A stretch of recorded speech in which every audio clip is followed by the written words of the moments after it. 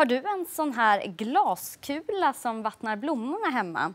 Då ska du i så fall inte ha den i solen. Hemma hos Mikael Gunnar Pettersson gick det nämligen inte så bra. Där började det lukta rök. Och Markus Gunnar, eh, vad hände sen? Eh, jo, jag gick på förmiddagen hemma egentligen och gick och använde min näsa så här och luktade för att det luktade någonting bränt. Jag kunde inte fatta vad det var för någonting. Jag tänkte att det var någon ledning kanske i väggarna eller någonting, eller någon skogsbrand utanför, men jag kände ingen röklukt ute eller någonting. Nu kom min son med här. Eh, och jag gick runt och förstod inte mitt liv vad det kunde vara för någonting. Och he hela förmiddagen. Och vi skulle åka bort också ut till lantstället. Så vi packade liksom väskorna och jag, innan det så hade jag tagit grannarna in till vår lägenhet och fick gå runt och lukta men ingen fattade vart det kom ifrån.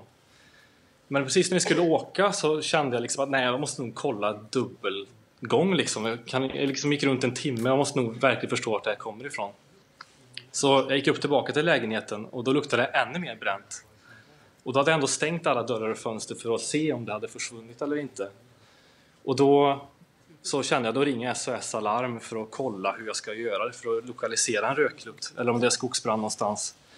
Och precis när jag hade dem på tråden så eh, förklarade jag läget, jag gick runt i lägenheten liksom och förklarade att det luktade mest i hallen. Här, när jag står här så luktar det mest.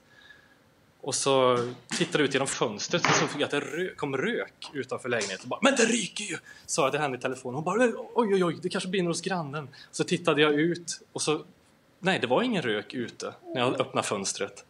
Så bara känner jag under näsan så... Va? Det kommer från blomkrukan? Och då kopplade det i mitt huvud att de här som jag använt, självbevattningskulorna, blir ju såklart som förstoringsglas. Det, det visste jag ju när jag var liten liksom. Men det kopplade inte ändå att den effekten var på det vattningssystemet.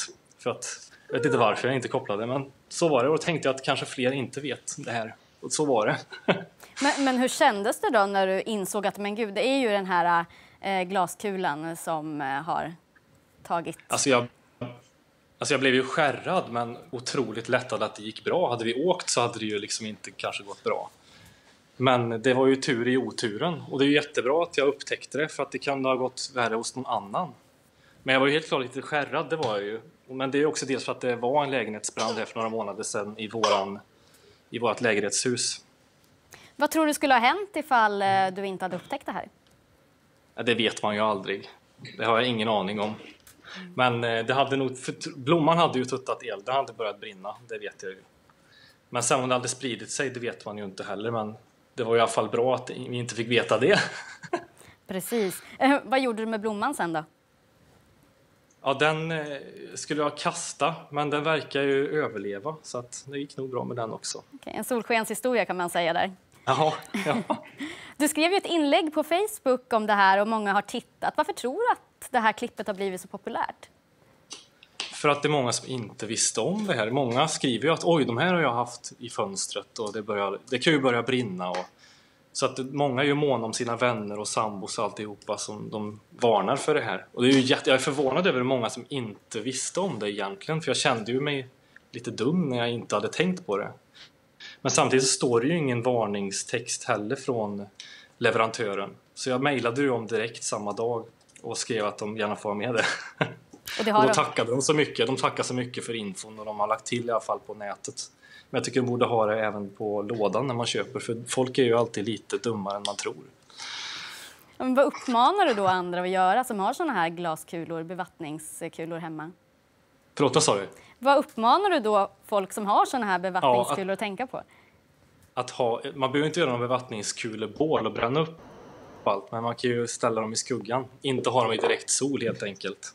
För vi har ju kvar våra, men de får ju stå i skugga då i så fall. Så du vågar alltså ha kvar dem hemma? Ja, det har jag ju. Det var ju i solen de var farliga. Jag tror inte att man ska tänka att allt är farligt bara för att en sak inte var så bra. Det är sant. Eh, Marcus Gunnar, tack för att vi kunde prata med dig om det här, att du upplyser oss om detta. Ja.